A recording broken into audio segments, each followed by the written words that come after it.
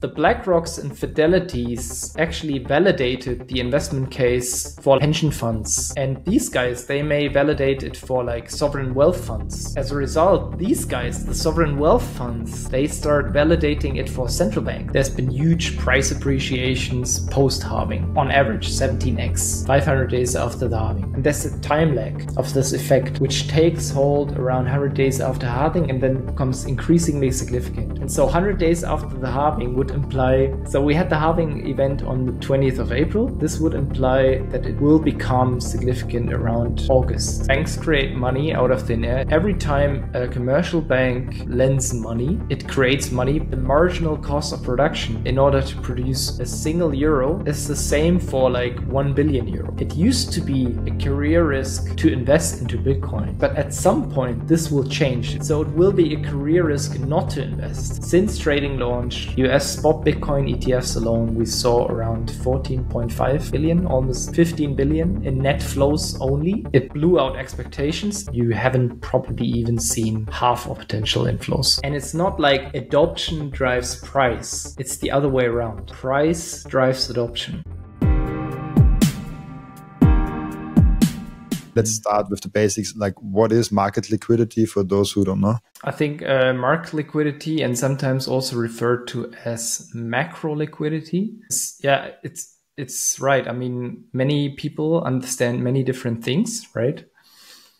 And when you speak about macro liquidity, for instance, I think most people understand money supply growth, right? Of course, you have def- different definitions of money supply growth right? You have maybe central bank base money money growth, central bank reserves.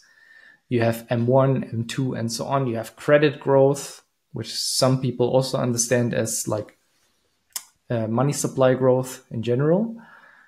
But I think what most people tend to look at in terms of liquidity growth are central bank reserves and sometimes also M2 money supply growth. But I think that's like the liquid component of money supply that most people pay attention to. And um, so, as far as money supply growth is concerned, there was like in April, uh, the M2 money supply monetary aggregate in the US turned positive for the first time since I think mid 2022. And it has been contracting since mid 2022. It has been contracting for almost two years, right? And as far as I know, it's been the longest contraction in money supply slash liquidity um, since the 1930s. And I think it's it's it's totally consistent with the fact that um, we have an invent- inverted yield curve, right? The term structure of interest rates in U.S. Treasury markets has not been upward sloping, but has been like inverted. So the longer end of the yield curve has been lower, the yield has been lower than the short end of the curve because of monetary tightening by the Fed. And this is totally consistent because you can see in history that periods of money supply contraction, like tight monetary policy, money supply contraction, and so on, quantitative tightening, they're usually associated with periods of an inverted or very shallow yield curve. And it's interesting. Yes. Yeah, yeah please. Uh, it's interesting for me because um, I always look at M2. Like I, um, when yes. I look at money supply, when I look at uh, like there's this this term always like oh the the Federal Reserves and central banks are always printing money, mm. but like printing money is not literally printing money. They are always doing something like this. It's not li- literally like oh we just create money out of thin air. Um, there, there are different me- methods to that. Um, but for me, always like M2 was kind of the, the best way to, to track the, the money supply. Uh, what was the other thing that, that you mentioned? Central bank reserves. I think there's a big difference between those two types of monies. So, as you mentioned, so banks create money out of thin air. It's it's academic truth. It's been shown. It's been demonstrated in academia as well. And um, it's not only the central bank that creates money, it's like commercial banks as well. And I, I think the majority, vast majority of money supply originates not from the central banking sector, but from the commercial banking sector. Every time a commercial bank um, lends money, gives out a loan, it creates money by a balance sheet expansion. So the active and the passive side are uh, expanded in the balance sheets, and that's how they create money. And uh, similar for the Fed, they buy assets, right? But at the same time, for instance, they buy like treasury bonds or mortgage backed securities on the asset side. But at the same time, they credit commercial banks' reserves, right, with central bank money. So reserves go up, which is a liability for the central bank, and assets go up at the same time. So their balance sheet expanded. They increased the uh, base money supply, but it, it, they created it out of out of nothing digitally, right? And we can talk about like, uh, I mean, it's quite obvious. Like fiat money has no intrinsic value, right? Um, why does why doesn't it have an intrinsic value? Because, I mean, the marginal cost of production uh, in order to produce a single euro is the same for like 1 billion euro, right? There's no difference. They just push a button and it's created digitally, right, out of thin air. And the big difference to things like Bitcoin and hard assets in general, you need energy to create Bitcoin, for instance, right? The marginal cost of production to produce one Bitcoin is different than producing 10 Bitcoins, right? We know it's at least 10 times uh, bigger, right? The amount of energy that you need. And I think, um, yeah, that's the big difference. But let, let's talk about like the difference between central bank reserves and like broad money supply, like M2. So M2 uh, is a monetary aggregate. Is it contains liquid and illiquid components. Like liquid, like money market funds, they're very liquid. You can trade them. You can easily exchange them for dollars, right? Like or euros. But they're also like more illiquid um, uh, mon- monet- monetary assets, like um, savings plans, right? Savings accounts. I mean, you have like at least some some kind of maturity, maybe three months or one month, but it's not as liquid as the more liquid components, right? like checking accounts, super liquid, but they're also part of uh, M2, but they're also illiquid stuff. So this is like commercial bank money. It's different from central bank money because uh, only central banks can create central bank money. They they are the only ones who can create central bank reserves. And most people don't get this. So there are actually two types of monies um, we as uh, as the public, the wider public, which in also includes corporations and so on, private companies, we don't interact with central bank reserves. You know, we don't touch this kind of money. It's only it only circulates within the uh, with the interbanking system. So between like central banks and commercial banks, right? And commercial banks need central bank money to fulfill fulfill central bank reserve requirements, for instance. But like they can't create it. They need the central bank for this. You know, they need uh, central bank reserves.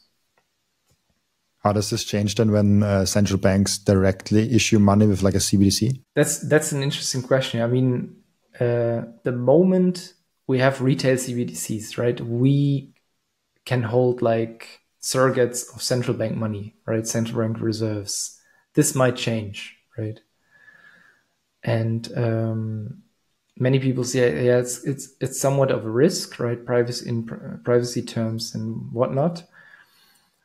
But I think um, the reasons why central bank want to do this is like to have more control over the money supply itself, right?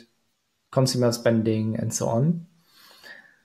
Uh, and maybe like uh, uh, in case we have like um, a scenario where cash is being abolished, which is not, I mean, the central banks, they keep denying it. Oh, no, we won't like abolish physical cash. We won't abolish banknotes and, and coins, right?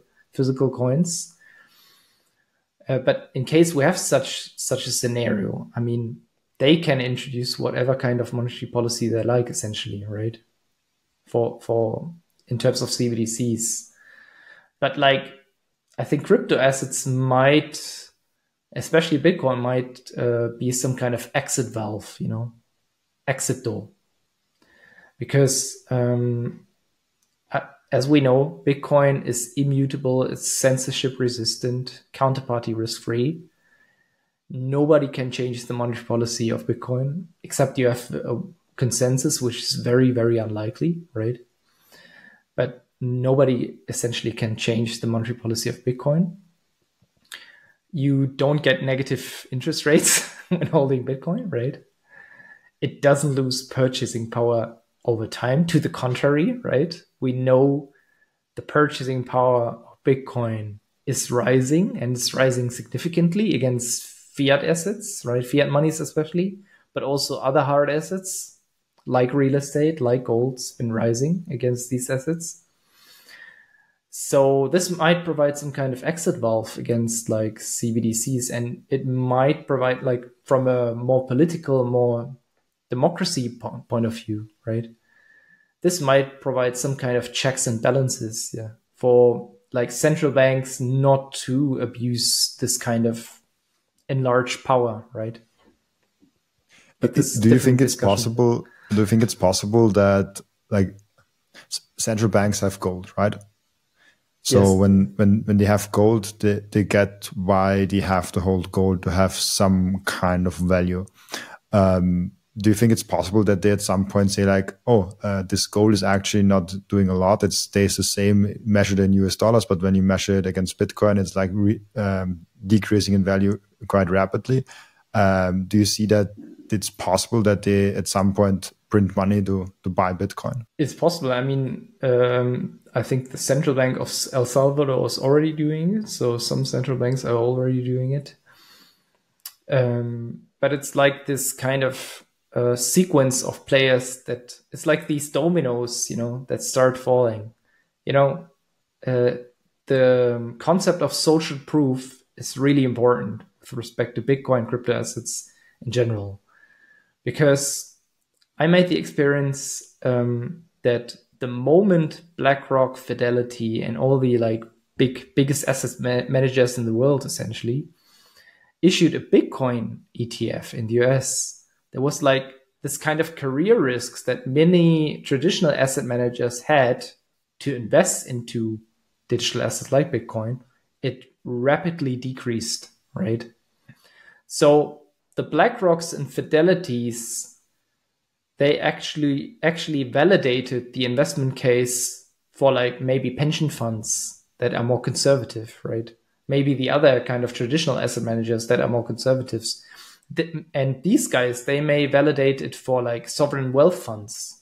And uh, as a result these guys the sovereign wealth funds they start validating it for central banks right? Because if a sovereign wealth fund like starts buying bitcoin at some point or any kind of other digital asset but most likely bitcoin right then uh, i mean it's just a matter of time bef- before like central banks themselves start buying it but they will probably be the very, very last entities to do so because buying Bitcoin um, implies that they have to sell fiat, right? And so they increase their automatically mechanically they will increase selling pressure on their fiat currency, right? When buying Bitcoin. Maybe at some point there will be speculative attacks like ah this central bank's not holding enough bitcoin so speculators will start selling the fiat currency of that currency uh, of that country right and so they will need to like increase their reserves in bitcoin at some point that's some that's a kind of game theoretic scenario but i think like career risk and I, um, I speak with many like clients asset managers institutional investors so career risk has considerably decreased the moment we had these um, Bitcoin ETFs in the US, right? The spot Bitcoin ETF trading launch. And you've seen that like out of the top 25 global hedge funds, the biggest hedge funds in the world, you see like at least half have invested according to the latest 13F filings, right? At least half of them. We know universe like Ivy League university endowments have invested, right? Stanford and others like uh, we also know like like state pension funds, Wisconsin, they have invested, right? It's already like if a state pension fund like uh, like Wisconsin starts to invest, it also validates the case for other state pension funds because they might say, "Oh, look, Wisconsin, they've invested. Why don't don't we invest?" Right? And my my thesis is, so these dominoes start falling, and my thesis is, it used to be a career risk to invest into Bitcoin, right? And other crypto assets in general. It used to be a career risk, but at some point this will change. It will flip flop, you know? So it will be a career risk not to invest because like um, we all know that like plenty of studies like multi-asset portfolio studies that show if you only invest like a tiny proportion of your portfolio into Bitcoin, right? Uh, even 1%, you significantly outperform, right? You increase your Sharpe ratio, so risk adjusted return goes up, and your portfolio volatility only increases marginally. So you more than compensated for the risk, right? In terms of returns, you more than compensated. Sharpe ratio goes up. And even max drawdowns, they only increase very, very marginally. So you can easily beat your benchmark as a multi-asset portfolio manager, right? By including Bitcoin, crypto assets in general. But Bitcoin, we have most of the history for Bitcoin, right? There are like plenty of studies already. And so I think um, the ones who will invest in Bitcoin or do invest right now already, they will be the the Morningstars and the Lippers of tomorrow. They will get all these portfolio manager awards, right? Because I mean they've outperformed their benchmark. They've outperformed their peers. And so the the pressure like from clients, the pressure from the industry, from from the bosses, you know, for portfolio managers will increase. They will say at some point, yeah, why don't you invest? I mean, I'll go to these guys that do invest, you know? They bring more return than you do, right? Why don't you invest in Bitcoin, for instance? Doesn't make sense. So this this pressure will increase. And I'd say we're not there yet. I don't think we might be at this like kind of threshold to this kind of scenario, but we're not like there yet. But um, observing this right now, we we see like first um, asset allocators that start investing, you know, or have already invested. And I think this will be like snowballing effect will become bigger and bigger and bigger. And then at some point flip flop, and then it will be a career risk not to be invested. And this will like validate the case for other kind of investors and ultimately central banks.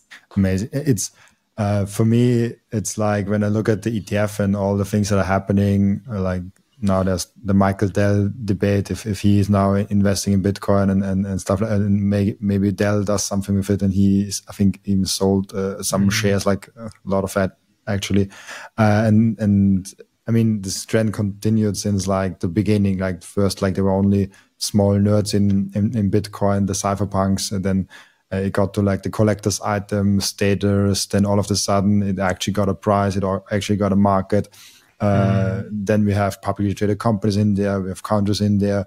Now we have an ETF like this. This asset class just like attracts more and more players, and it gets bigger and bigger, and, and mm. on bigger and bigger tables. It's it's it's fascinating to, to see that. But the Bitcoin ETF, maybe let's focus a little bit on that. Were you disappointed from from the impact it had on on, on the price? Uh, did you expect more, or, or was it uh, always like it needs more time to actually kick in because people stand behind that and they have to make decisions and the decision mm. uh, uh, duration is just longer so i think the very first trading day you had like um, disappointments, but I think in general was, I mean, by far the most successful trading launch ever in the ETF space. I think both BlackRock and Fidelity, correct me if I'm wrong, but I think both BlackRock and Fidelity, they were the very first um, ETFs to reach uh, $10 billion assets under management in the shortest period of time. I think below 100 days. So it was really, really successful, way more successful than the gold ETF launch in 2004. And so by that metric, I think uh, it has blown out expectations. But um, many people said like, ah, uh, don't invest into ETFs, don't invest into Bitcoin because like ETFs are priced in already. Because until um, the 11th of January, before the trading launch, right, the price already kept rallying, right? in anticipation of this kind of trading launch after the approval. And so people said like at 42,000 when the trading launch actually occurred, right? Was uh, the price was at 42,000. People said that's ah, already priced in, right? But we we said like in our research pieces, we said like no, it's not priced in because the moment you see those flows, there will be a price impact. And we saw the price impact already, right? We went from forty-two thousand to seventy-three thousand dollars, right, in Bitcoin. So it was not completely priced in. We saw those flows, and I think um, since trading launch, US spot Bitcoin ETFs alone, we saw around 14.5 billion, almost 15 billion in net flows only, net inflows into these um, 10 vehicles. So I think it it blew out expectations. And you can see it also in the fact that new all time highs before halving are unprecedented. I mean, we reached new all time highs, and that was like before the halving, before like the 20th of April. We reached $73,000. That, that was a major thing, yeah? Yeah, it's a major thing. Like, and the, uh, the ETF flows, they were the main sort of catalyst. I think, like from a macro perspective, if you look at, at it quantitatively, it was more like a general increase in global risk appetite, increasing global growth expectations, and so on, like from a macro perspective. But these flows also contribute to a certain like percentage uh, yeah, and all-time high, new all-time highs before halving. That's unprecedented. But I still, so that being said, I still don't think that the ETFs are completely priced in now. The reason is that and we all already formulated this kind of investment thesis in December last year. So what we looked at was like how much capital, how much money is actually sitting in passive uh, ETFs in the US alone, but only risky assets. So only equities, commodities. So developed market equities, emerging market equities, commodities. How much is actually in, in invested? And uh, I think back then was around seven trillion dollars because the market has gone up. So it's more like eight trillion now. But so we made this kind of thought experiment. So let's assume like 20% of those invested in the US, of these ETF investors that hold risky asset ETFs, so only passive stuff, right? They decide to like, oh, okay, let's allocate 3% of our portfolio. You know, let's switch 3%. So let's switch from these risky assets 3%, which makes sense. I mean, you can like debate, ah, it's 20%. So every fifth asset manager is that reasonable assumption, right? Is 3% allocation is a reasonable assumption. But like there's evidence that the retail adoption rate in the US is around 20% already. It's between 15 and 20%. Some surveys say like ah like Unchained they came they came out with surveys says like already uh, already 20 around 25%, right? So retail adoption is close to 20%. And most of the studies, like the portfolio studies, they imply, okay, 3% Bitcoin allocation is optimal, you know, it, it maximizes your Sharpe ratio and so on. Um, so that's, these are the kind of assumptions. So 7 trillion or around 8 trillion now times 20% times 3%. And we made this calculation. It's very simple, but we made this calculation back in December and it implied around 30 to 40 billion US dollars in potential flows. And we have already seen like 14 to 15 billion, but still it implies we have, haven't even seen like half of these potential flows, you know? We have probably seen only like one third or 40% of potential flows. And you know, there's a story with these warehouses in US. I mean, uh, there are certain distributors, fund distributors. So the whole infrastructure is not completely set up, you know, for perfect distribution. And this will take time, as you mentioned. I mean, um, until we have these kind of distribution channels set up, funds have uh, done their due diligence and so on.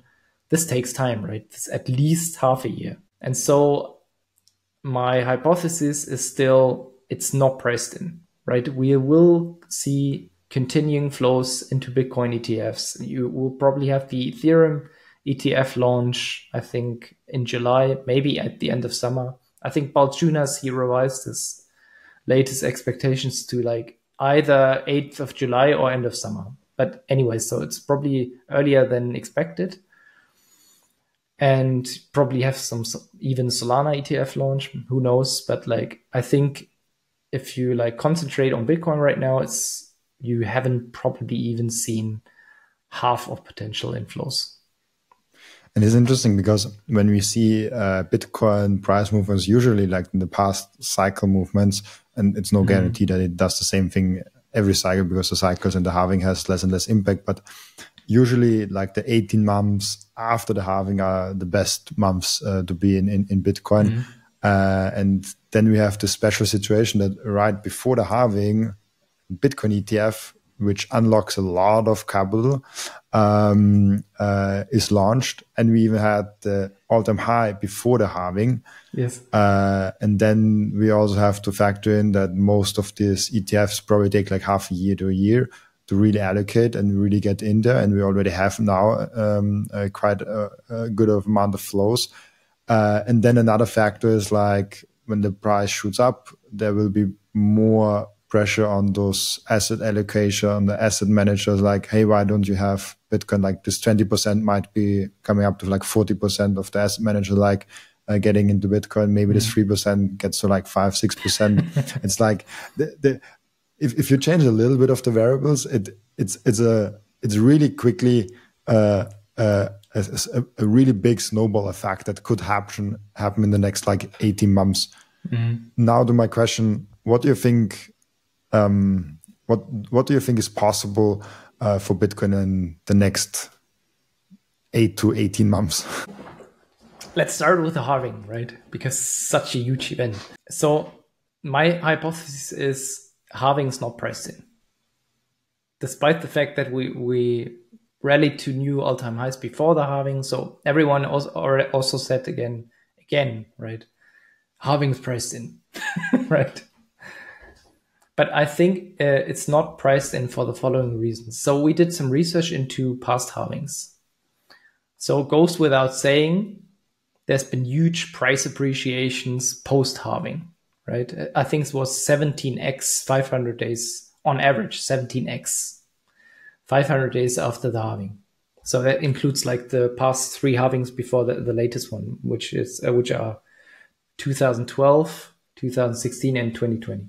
So 17x. Uh, but what's even more important is there's such a huge performance difference between performance post halving and pre halving. So performance, for instance, like 20 days after the halving minus 20 days before the halving, 50 days after the halving, 50 days before the halving, and so on. So if you like calculate these performance differences and then you get some kind of yeah performance difference, it's positive most of the time, and it's positively skewed towards post halving. So you see significantly higher performance post halving than pre halving and you can even measure this statistically and you can test it whether it's significant. And uh, when you look at the significance, the halving itself doesn't really become significant around yeah, 100 days after the halving. Then it starts to become increasingly significant, and then the most significant around 400 days after the halving.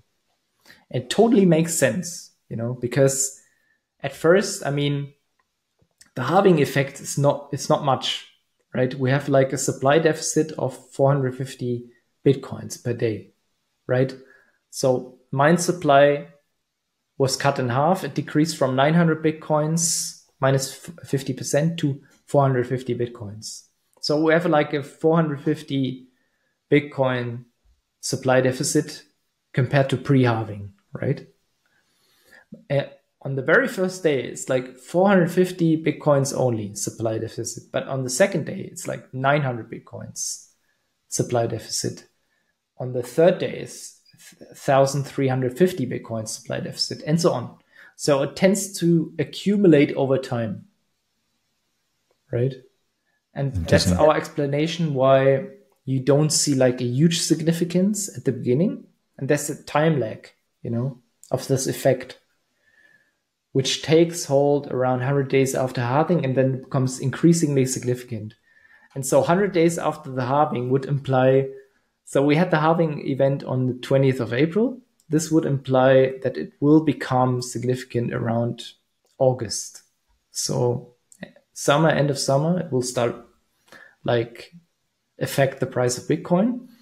And so when you think like, ah, is it priced in or not priced in? What we also did was like we built a quantitative model. I mean, disclaimer at this point, yeah, all models are wrong, but some are useful, right? It's just a quantitative model, uh, but it only contains the halving effect, right? Uh, but also it considers the fact that the marginal effect of each halving decreases over time. Because, um, I mean, the last halving, we went from 6.25 bitcoins to 3.125, right? And 3.125 in terms of the current supply in percentage terms is way way less than like the very first halving where we went from like 50 bitcoins per 10 minute blocks right to 25 bitcoins. So and the supply was like less than 10 million coins right? So percentage wise the halving effect the earlier ones they were way more significant right and so, but even if you consider this kind of fact, so halving effect plus the fact that the marginal effect will like um, will decrease over time. So we found out that the new kind of equilibrium price, according to this model, is around $103,000 by the end of this year and $172,000 by the end of next year. And the funny thing is, it now starts to like it will now be a tailwind for the price. It will now start to support the price because uh, in the run up to the halving, and we just talked about this, right? Uh, we had like new all time highs before the halving, so we had we had some kind of decoupling from this equilibrium price. The price was too hot, right? Valuations were somewhat on the expensive side, but now that we had this correction, right, to fifty eight thousand dollars again, valuations have been have become more attractive. They've been they've been closer to fair value, also according to this model. But we have all other kinds of valuation models that signal the same. So we are more in line with fair value now, and we yeah coincidentally we've touched this point where like this kind of halving effect now becomes a tailwind, you know, and I think it will become like a significant tailwind starting yeah, around August. Thank you. You already made it halfway through the video and I'm really, really grateful to have you here. Two things make this channel possible. You as a watcher and listener who keep supporting this channel. And another one is all the Bitcoin brands that I partner up with, like 21 Bitcoin, who support me from the very start and where I personally buy my Bitcoin from. With code Robin, you even get a discount when you buy Bitcoin with them. And now also Bitbox. Bitbox is is the simplest and securest way to secure your Bitcoin. And I heard a crazy statistics. Only 2% of Bitcoiners hold their Bitcoin in a hardware wallet. How crazy is that? Don't be in that 98% bracket. Be in the 2% bracket. And if you have self-custody and you know your friend does not have, maybe he needs a Christmas present. Maybe he needs a birthday present. And a small life hack, if you use code Robin, you get 5% off your order plus you support my channel. And now let's get back to the video. Uh, there, there was an, I think, a really in-depth video that I once saw for like, it was like one hour, something like that, who said, who said like the, the Bitcoin price is never really priced in because uh, it's not only about the financial side of things, but also about psychology.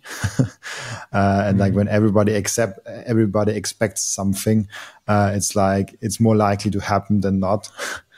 Uh, and it's mm. it will be interesting because, as you said, like we have now ninety two or three percent of the supply already mined, so there's not a lot of new supply coming anyways. And it, mm. I think was what was it 90, uh, 20, 35. I think we have uh, ninety nine percent of the supply. Um, was it 2030 something around these lines yes. and then mm-hmm. we, we, only need like 1% and this 1% takes like till 2140 so the, so the halving mm-hmm. in itself has less and less impact and will have in like 10 20 years almost no impact on new supply it's like like so small as an impact but it will be interesting if if it actually continues and then we also have like uh, as you mentioned uh, models i think Saylor is the most popular one for saying all models will break. Like once yes. so, so, someone big enough comes in, uh, breaks. Like when when there's a downturn, and in the downturn, Apple decides to convert 20% of their balance sheet to Bitcoin, and then all the uh, fear of missing out and all the all, mm-hmm. all the mm-hmm. news like this probably will shoot up the price to uh, maybe like five x or depending on where we are. But uh, like this, this, is really interesting for me. And on the one side, I'm just hodling. I'm just like 100% in Bitcoin anyways. Like I, I really don't care mm. what the mm. price is because I, I, adopted a Bitcoin standard. But still, it's interesting to think about like where will we go? And it's for me also interesting because I have a lot of people that watch me on the podcast that are already Bitcoiners and just want to learn more about the asset and want to learn more about uh, from other Bitcoiners. But there's also mm. always a certain percentage that are curious about Bitcoin and don't have Bitcoin and just like want to check out a few episodes and, and want to see what, what Bitcoin is about. And what I learned when I put price predictions or price things in there, this attracts more um, more more outside of the Bitcoin community. Like if you're really a Bitcoiner, they, they, don't care that much about Bitcoin. Even like even if I put like a price target in the thumbnail, they are like, oh, why did you put like this is clickbait? Like they they're not as uh, they do, they even on the other side they're like, ah, we don't like this kind of a content, but it attracts new people. It attracts uh, outside of the Bitcoin public. People are like, oh, this Bitcoin thing is, is still still mm-hmm. there, uh, and it might go up. Like let let's check let's check it out. And so I think we even as a Bitcoiner, we have an obligation to to talk the normie language, to talk the language outside of our Bitcoin bubble, uh, mm. and and tell like this is the potential of Bitcoin. Like there we can go, because mm. most people are like, oh, where can the uh, asset go? And then they they think in like dollar terms. Mm. A lot of Bitcoin already don't think like that. Most people, most Bitcoiner even do it. Um, mm. But uh, where do you see, like, when we see like the, the the bigger picture in like ten years, fifty years? Do you have some sort of model? I mean, it's really hard to predict because a lot of things mm. can mm-hmm. happen. But do you have some sort of model where you had this is the the Bitcoin price for really long term? This is the Bitcoin price for uh, where where we see it uh, going. I think hundred thousand for the end of the year is a really cool and and really realistic target. I, feel mm-hmm. like we we probably overshoot that, uh, but mm-hmm. we can also undershoot it. But it's a, it's a realistic and good target. I feel like. Um, but where do you see it long term uh, going when we have all those those trends that we talked about in the day? I think it's really interesting because like there's so many variables that influence the price of Bitcoin. I mean, obviously one is scarcity, and we just talked about the halving effect. Um, the other one is adoption. But as you said, like normies and like the wider population, they of course they look at price, and um, the funny thing, and there's lots of research, I think by the BIS, Bank of International Settlements, they've done some crypto research as well, and they looked at like retail adoption. And it's not like adoption drives price. It's the other way around. Price drives adoption. So the moment you have increase in performance, increase in like price, but a significant one, of course, people start talking about it, increasing acceleration and adoption. And you can see it in the data as well. If you, they're like global ID verified crypto users, I think the data from uh, crypto.com from the exchange, uh, it really shows that adoption itself is cycling. So you have the highest growth rates in adoption, highest user growth in bull markets and lowest user growth in bear markets. It makes sense, right? And you also have like the most uh, exchange app downloads during bull markets and yeah, the least in bear markets. It's totally normal. And it's it's just part of human psychology, you know. We desire things that go up in price. right? Because some way in some way it conveys, okay, this is this is valuable, you know. There's also social proof. Others are valuing this. This is going up. This is interesting. And so you see this increasing adoption. But like in terms of uh, the long-term view, I think many many people are following this kind of power law model, right? And it, it it's based in like human psychology, adoption cycles, like how do viruses spread, right? Virus spread spread more like exponentially. Power law is more like the power law model assumes that growth rates will decrease over time. So it will continue to grow, but like over time, the growth rate will decrease and you have this kind of concave curve, right? That's the power law model. And like you mentioned, um, Michael Saylor, all your models will be destroyed. I mean, for me, this is still a possibility. I'm still in the camp of some kind of like scarcity model, the one I've mentioned, halving, but also power law model, which perfectly dovetails this kind of model because the the halving effects also decrease over time, right? I think it's it, we shouldn't rule out this kind of extreme scenario of hyper Bitcoinization, right? Because I think when when Mike guys like Michael Saylor says like, say like ah all your models will be destroyed, right? they implicitly mean hyper Bitcoinization, right? So uh, for me, hyper Bitcoinization is um, when adoption starts to accelerate like significantly. And I think it's, it's somewhat, it, uh, this kind of probability is not zero. It's definitely higher than zero. Because like, you've probably seen these recent videos of Trump talking about like 50 million crypto users in the US already. And some surveys, I've just seen them, they imply like 90 million users. But I think most of these like surveys, they imply like 50 to 60 million. Some say it's like 40 million adults, right? But in general, I think 50 million is probably a good number. So, and they're like 50 million uh, dogs in the US, right? So if you're against crypto and Bitcoin, then it's like you're against dogs right now. so That's a nice comparison. You know, it's politically not feasible anymore. It's like political suicide to be against crypto because you lose out on 50 million voters potentially, right? And I think Trump realized this. He realized, okay, I can gain a majority by advocating Bitcoin mining, crypto in general, like pro crypto legislation in the US, right? Trump, Trump can, had a had a need to know about Bitcoin, and he now has to adopt it. Yeah, he's like, I have to be for it, otherwise I I, I don't get the voters.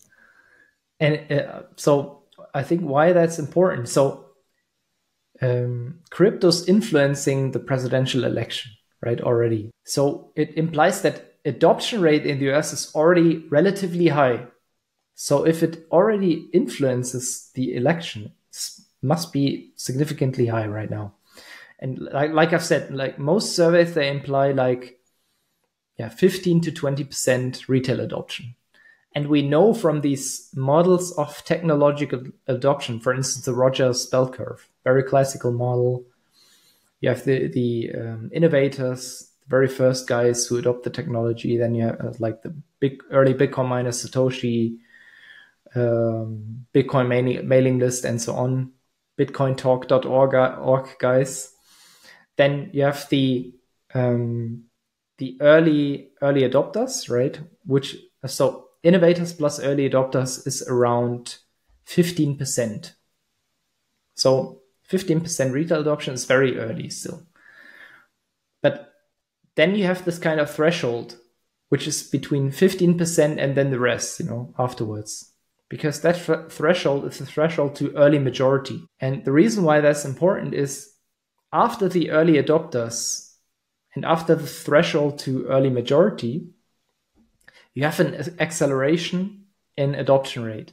Like it really starts to take off. And um, I think like the Bitcoin ETF, ETFs in the US, they've they've like they've really accelerated Bitcoin adoption across the United States, and that's my explanation why it's so important for the pre- presidential election as well. You know, and, so yeah. I wouldn't rule out that this like that we have some kind of hyper Bitcoinization because we're exactly this threshold, especially in the US, where adoption really starts to take off, starts to accelerate, and then maybe like the halving model that I've just mentioned is will be completely destroyed, right? then the power law model, right, will be completely destroyed because they're, mo- in my view, they're more like the conservative types of model. They imply like a concave like shape of the price over time. But if we have hyper Bitcoinization, then price really starts to go exponential again. Do you see uh, when we talk about hyper Bitcoinization, I also feel like different people have different uh, imaginations of how, how this look like. How, how, does it look for you? Like when, when you talk about hyper Bitcoinization, what, what, what, what do you mean by that? Yeah, mass adoption essentially. So, because like if you go on Twitter, you see many people say, like, "Ah, oh, we're still early. Look at this, we're still early." But I don't, I don't think we're that early anymore. You know, my hypothesis is since the Bitcoin ETF trading launch, adoption has been accelerating, right?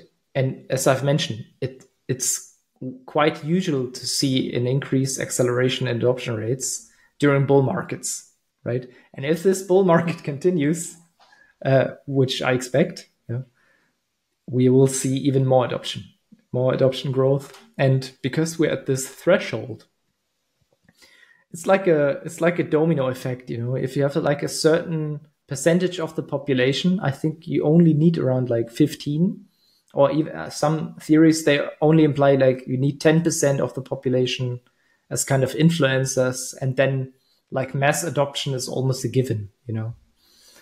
So there's some theories that imply this, but like, uh, like I've said, surveys apply like 15 to 20% retail adoption usually starts to take off. And that's like the point to early majority. And the moment you have a majority, you have mass adoption because then adoption rate is above 50%.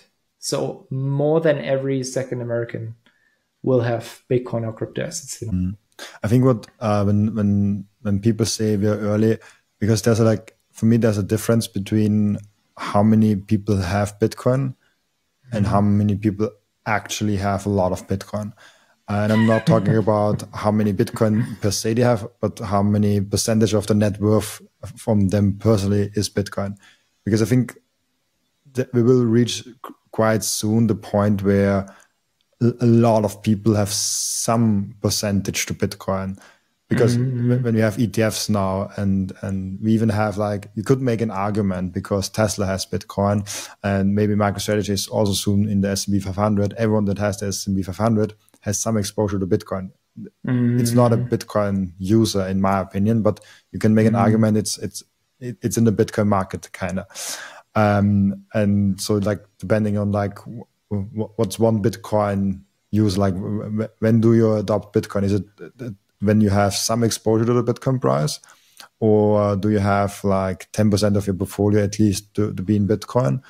or you actually uh, are, are, you only a actual Bitcoiner who adopted Bitcoin if you have self custody Bitcoin with a hardware wallet? Mm-hmm. Because then this is a whole different thing. Uh, um, we, we have studies where they show like only two percent of all Bitcoiners, uh, or it might be actually a crypto study. I think there was a crypto study. All all, all uh, crypto holders uh, of them, only two percent of them actually hold a hardware wallet.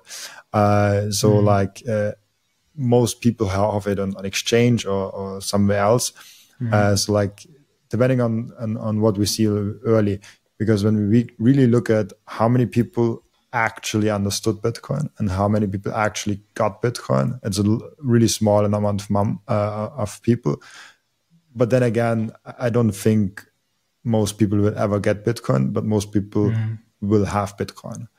Uh, like yeah. How, how, many people understand gold or an ETF or whatever? They just buy it because they know mm. intrinsically it has value and, and they need it like most most people never question what is money and never question yes, um, exactly. what what what they're doing so it, it's, it's, a really interesting debate for me where are we with the adoption because we, you can make an argument for we have 1% adoption or you can make an argument oh we have 20% adoption depending on what metrics also you're looking at um, mm. but uh, i think we are early from a price development um, but it is massive how far we have already come, especially with the ETF and everything. When mm-hmm. we have a country in Bitcoin that's stacking one Bitcoin a day, that, that that's that's massive. Like that's really good.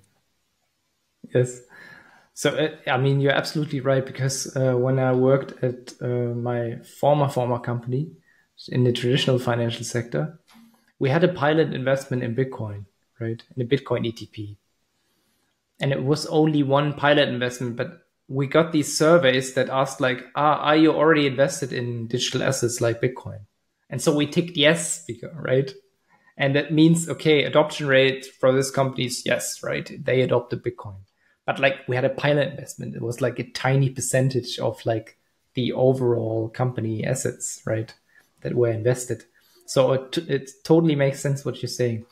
At the same time, I don't think like owning a hardware wallet is like a necessary condition to like or even like getting bitcoin to be invested or adopt bitcoin right because like many people they use planes right but most people i mean you do somehow somehow understand how it works but like the very very basics but not like the nitty gritty of like how a plane works right but still we use a plane right and same, I, mean, the best example is even fiat money, right?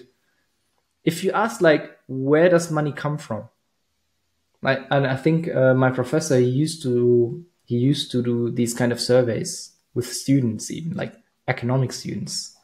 This, is not like the general population. They're even more like they're more prone to answer this question correctly, right? I mean, at least they're supposed to, but so they asked uh, students, where does money come from? And like the majority said like the government, which is wrong, you know? Because like the options were government, central bank, commercial banks, and then I don't know, foreign uh, offshore source or anything. And so they said the majority ticked 90%, around 90%, ticked like, ah, it's coming from the government. That's wrong. I mean, the majority, the large majority of money supply is originating from the banking sector, right? The government itself can't print money. And the central bank's not the government. They're independent of the government, right? The ECB is independent. So, and so the vast, vast majority is coming from the uh, banking sector and especially commercial banks. It's not even the central bank. It's the commercial banks that create the majority of the money supply. And so most people don't understand where does money come from? How does it actually work, right? But still they use money day to day.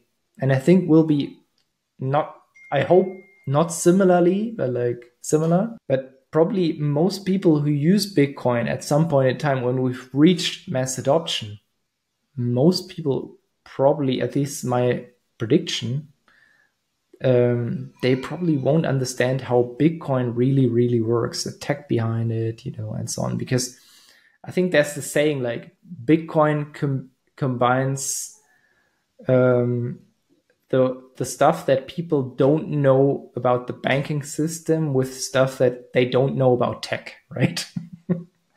so it's really a harsh combination of things most people don't understand, right?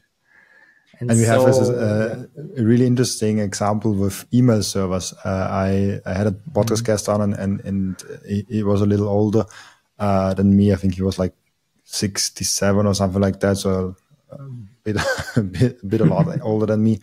Um, and he said in the early internet adoption, when emails and, so on came out, uh, and he was really involved in there. Mm-hmm. Most experts in there actually thought everyone will have run their own email servers. Mm-hmm. But they did not uh, saw the future as we see it now as like 90% of people are at Gmail. Um, I don't know how, yes, exactly. how, how, big it's like, but maybe like 99%. I don't know how, how many people on Gmail, but most people are on Gmail or some centralized servers. Like they're probably like five yes, exactly. people, uh, uh, services that most people are on. Uh, and and there are like these two hearts in in in, in me that that the one is the the rational that that sees the world and and and sees the the people around me that are even like I have friends that are hundred percent in Bitcoin and they all hold it on exchange, even though I tell them the fifth hundredth time to get a hardware wallet and to at least uh, educate themselves on, on, that topic to at least get some knowledge about that. Um, and uh, then then I see also like all the surveys and all the statistics that not a lot of hardware wallets and everything. But then there's also this this this heart in me like I want people to actually not only get the number grab technology but also the freedom grab technology. Uh, mm. Because when you actually take self custody, you can take advantages like you can uh, take your Bitcoin over borders without anyone interfering with that. You can do with Bitcoin way more than, than just getting wealthy from it. The, the getting wealthy part is is the most important to most people.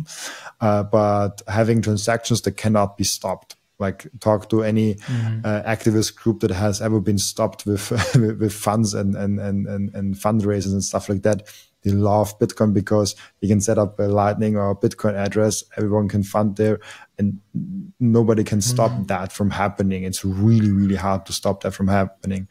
Uh, mm-hmm. like I always make that extreme example. If you have, if you're at home and a, a thief comes in there and, and holds like a, a, gun to the uh, to the uh, head of your wife, um, if you have gold in that scenario, he can shoot everyone and then get your gold, no matter if you want it or not. With Bitcoin, even though you probably give it to him, with, with Bitcoin, you have the choice to die and take your Bitcoin with you that's mm-hmm. an extreme example, but it shows you how great the property rights of Bitcoin are. And I always encourage everyone to, even if you don't want to hold it yourself, even if you like for some reason can only hold the ETF, even in that scenario, get yourself a hardware wallet for like 50 euros or 100 euros and, mm. and experience with that. I did that. Like I, quick story, like I, when I thought three years that uh, Bitcoin is a scam. And then uh, people challenged me and asked me questions about it. Then I was like, oh shit, I ran out of arguments. So I was researching about it. Uh, and in the on Friday, I thought it's a scam. On Sunday, I thought, oh, okay, it might be something. Uh, but I I didn't I did not fully understand it. I only was like, okay, it might be more than a scam. uh, on a Monday, I bought, uh, uh, made, I opened the Coinbase account. On a Tuesday, even though I was not sure if Bitcoin is anything, I bought a ledger because I wanted to got to know the technology. So like, even if you have, um, uh, and, and if you're an an, an, a 60 year old guy who has mm. uh, a million in, in Bitcoin ETF because uh, you're rich and you accomplish a lot in your life and you don't want to deal with technology, like take out the day, buy a Bitbox and, and try out what what's possible with the technology, like just to uh, enhance your, your your knowledge about the technology. Uh, like this is uh, what I also always try to to get, but I think most people won't. most people okay. won't. Yeah. It's fine. I mean, uh, there are different solutions, um, and I mean, providers, right? Like us, I mean, ETC Group, um, we have the bit, biggest Bitcoin ETP in Europe. So there are always pros and cons, right? like hardcore Bitcoin maxis, they will say, "Oh, don't invest in a Bitcoin ETP." It's easier for retail investors, right? I mean, you get a hardware wallet, you you take your coins off exchange, you store in hardware wallet. Maybe you uh, you memorize your seed phrase, right? Then you, if you die, you take the bitcoins with you, right? But like for institutional investors, it's not that easy, right? Like key management, you th- there's always a risk, right? Pros and cons. So of course, uh, if you do self custody, um, the pro is censorship resistant, counterparty risk free, right? You don't have the service provider, the fund administrator, custodian, whatever. But have you have risk of uh, losing your keys, right? Getting robbed or whatever. And for institutions, this is a real risk. They don't want to like they don't want to do key management. They they want us, you know, to do the custody for them we use also other service providers who are super professional in terms of uh, key management. But at the same time, we also think like, okay, uh, I mean, we have blockchain tech, but then we have a new layer like an ETP. I mean, it, it takes all these advantages from decentralized tech, from counterparty risk free and censorship resistance and so on. But what, what we do is like the assets are segregated, right? So, for instance, our company goes bust. The assets are segregated. They're not part of like the um, bankruptcy, right? And also, we what we also do is like we provide proof of holdings. So, I, I mean, what's the case? And using, I mean, having this kind of transparency, having blockchain like Bitcoin or Ethereum, and you don't provide the public addresses, right? So what we do, and this is uh, others like Bitwise, they also do this, but we we have been one of the first to do this even before Bitwise. So what we do is like we provide all the public addresses for all our Bitcoin holdings, you know, and so you can check in real time are my bitcoins actually there, right, and so on. So uh, we have an independent administrator that checks all the transactions as well, like third party and so on. So there are like many, many security checks and balances. The funds are segregated. Of course, the, the con is like, okay, you don't have this kind of counterparty risk free anymore, but at the same time, you don't have lost uh, the risk of losing your keys. Um, you have very high liquidity. In the sometimes, what's funny is the ETPs, the securities based on Bitcoin, have sometimes even tighter spreads, so less costs, trading costs, than the underlying BTC. the reason is that we have market makers. You know, we pay them so they make tight spreads. So if you're trading BTC, which I, I mean, I don't recommend trading BTC. I mean, it makes sense to buy and hold, right? Hodl and so on in the investment case. Because like there's so many studies. Do you know this kind of rule of 10? I know. So if you lose out on the 10 best days over the past five years, you've, you've essentially flat on Bitcoin because like most of the performance made on like, yeah, 10 days. And so it, it's good, good it's, luck finding them. yes, exactly. It makes more sense to buy and hold like hodl, right, long term, than to try and trade the market, right? Like like mm. like we said before, like before the we we started the podcast, the the time in the market is more important than timing the market, essentially, right? And so um, yeah. Also less Plus, headache. Uh, by the way, uh, this is really a really important feature. So I talked about the ETP, but what we also do is like, so in case we have a client, a retail client who says like, ah, I want to have the real coins, like give me the real coins because the shares they're like a claim on the the underlying coins because it's 100% collateralized. So a client can come to us and say like, ah, I want to have delivery of the of the underlying Bitcoin. And so we we deliver them a kind of hardware wallet, and so they get the the coins like physically in a hardware wallet. You know, that's also possible That's really cool. Uh, I, love that.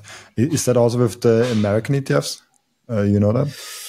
I don't know whether they have delivery option, and they're not all European ETPs offer this kind of delivery option. But we do this because of certain tax advantages in Germany as well, because uh, you have a better, more beneficial tax advantage, tax treatment in Germany. And it's also like it's more creates more trust because I mean then you can always like get your underlying Bitcoin. Especially with the uh, when when you publicize your addresses, then everyone can say, okay, at least that much Bitcoin you actually have. Like when you when mm-hmm. you have like you you might have more that you don't publicize, but probably not. But uh, at least that that many Bitcoin are there. Uh, and and this is uh, this is great that nothing like an mm. FTX thing happens where they have like what did they have two Bitcoin or something like that in their reserve, uh, and the the rest was mm. love and air. I think that's what uh, started this whole thing about like proof of holdings, proof of reserves, right? That that's when like Binance also started at some point to like publish their proof of holdings and so on. I mean, most on-chain data providers, they um, they look at the data, they try to like segregate tag them, tag exchange wallets, and then aggregate like exchange balances. For instance, Bitcoin exchange balances on Coinbase Bitcoin exchange balances on Binance and so on. So, I mean, you don't need the exchanges to tell you that, you know, that the proof of holdings because you have CryptoQuant, Glassnode, and so on. Nansen, they all do this kind of exchange wallet tagging. And so you can track them if you have these data providers. But of course, like for the wider public that don't subscribe to these data providers, it's probably a good thing. Yeah. Amazing. Perfect. Then uh, I already saw that we're already off over the one hour mark. Uh, and we have entered in the podcast that uh, is two questions. The one question is always the same, and the other one question comes from the previous guest without knowing who the next guest actually is. Um, let's start with the question that is for everyone the same.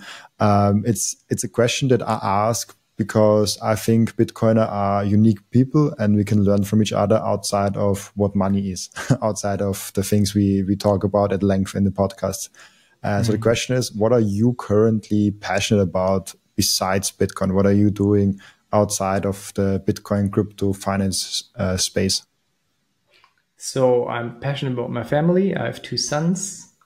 One is one year old and my eldest son is five years old. So real, still small, but yeah, passionate about family, spending time with my family. Traveling is also good, but I'm probably more passionate about uh, reading books and playing drums because I used to play uh, drums in a band as well. Not so much anymore, but like I still, yeah, go down to the basement. We have we have a drum kit in the basement, and so I play drums. What, what is the most important book that uh, you, you can recommend to to people? What they definitely should should read outside of of Bitcoin? I think if you're interested in like central bank policy, monetary policy, like money in general, then you should definitely read Princes of the Yen by Richard Werner. Oh yes, uh, someone sent me this on a DM. I think like two days ago he's like, hey, you have to. The, who, who's the author? yeah, who's the author? I think he Richard Werner. So uh, he yeah. used to be my uh, PhD supervisor in Southampton. He used to be my PhD supervisor for six years. So I know him very well. He, I think he lives in Switzerland right now, but I'm not sure. He's traveling traveling a lot.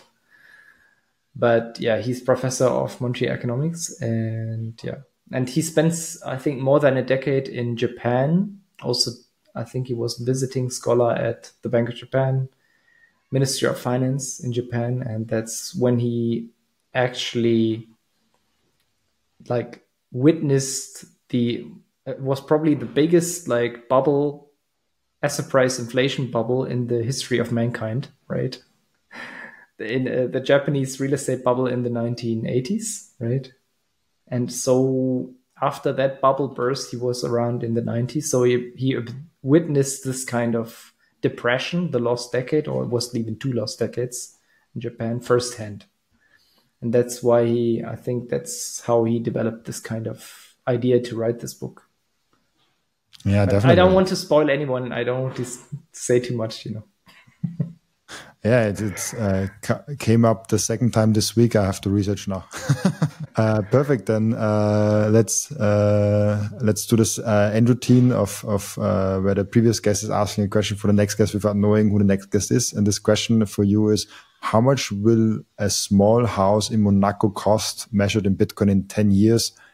Um, we talked about a lot with the last guest, like how real estate is, um, because the last guest was actually the opinion that real estate uh, does not compete with Bitcoin, but he changed that opinion in the last like six to eight months, uh, and he's now seeing a lot of uh, even real estate people that are like, oh, I also want to have Bitcoin, and Bitcoin kind of sucks up that financial mm-hmm. energy, mm-hmm. and we have already this kind of slow progression the last five years, where or five, like, at least like when when Bitcoin started that real estate is getting cheaper and cheaper measured in Bitcoin. Mm-hmm. And right now I saw is like the average price in Monaco for a house or for a condo is like 32 uh, Bitcoin.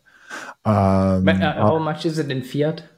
Like Oh wait, uh, let's let's forty-two let, Bitcoin. Uh, let's let's let's see what the fiat price is. Uh, Thirty-two Bitcoin like, uh, are uh, two million. Two, uh, I've heard there's some yeah, small yeah, house in Monaco is probably more like five million, but yeah, interesting. Yeah, yeah. But, but let's say two million, right? Yeah, let's say that. I'd say in ten years' time, I'd say two Bitcoin. Oh, nice. then, then many more can so, live in Monaco. I think it's quite likely. So the reason is if you look at different models. So I think in 10 years time. So by the time we are in 2034 i think at the beginning of next decade so at the beginning of the 2030s we'll probably already hit 1 million per bitcoin. So based on power law model and all kinds of different models they imply the same. The funny thing is that if we hit 1 million in terms of uh, price that implies we hit around 26 uh, trillion, I think, US dollars market cap, right? Yeah, 26, uh, which is prob, which is the current market cap of all US treasuries, and it's significantly higher than all the gold. So if we hit 1 million per coin, that means we have probably disrupted gold as a reserve asset already and are probably on a good path to disrupt US treasuries as well. But of course, I mean, like, because debt is growing so much right now, and so you have more and more US treasuries, will probably probably take more time, you know, to like really reach the market cap of US treasuries. But uh, I think there's a good chance that by the beginning of next decade, Bitcoin will be Bitcoin's market cap will be bigger than gold. Yeah, I think we need like six hundred thousand. Yeah, six or seven hundred thousand because yeah. like more recently the gold price also went up, so market cap also went up. So will be will be a, a fun time. I, I, hope I get Peter Schiff on when when Bitcoin hits that price target. but like, yeah, to answer the question, two bitcoins I think in Monaco. That's really cool. Uh, two Bitcoin. uh, I love it. There's a, a site priced in uh, 21 and there you can see like real estate prices uh, priced in bitcoin and everything priced in bitcoin and it's just uh, it, it's a cool mind switch when you price things in bitcoin and no longer mm. in, in in us dollars and it makes also expenses like big expenses and um, investments all of a sudden you're like oh do i really want to spend those bitcoin yes, because exactly. uh, there are only 21 million like maybe i never get it back yes. maybe tomorrow is is the week where all the 10 days are in a one row and Bitcoin is at like 300,000. like Samson Mow is always tweeting Omega is coming, right? The Omega candle. Omega, Omega candle. Perfect. Then, uh, yeah, thank you, Andre, for, for being on. Uh, where can people uh, reach out to you when they have questions? Where can people find you? So I'm very active on Twitter. Uh, you can see my Twitter handle here uh, at Andre underscore Dragosch but I'm also you can find me on LinkedIn. Just type in my name and you yeah. Just Perfect. feel free to reach out, connect, and yeah. as as they cannot see the screen afterwards, but they can uh, get your Twitter handle from the description. Uh, and I also publish that on, on Twitter, so they can just go on the on the text and I tag you there.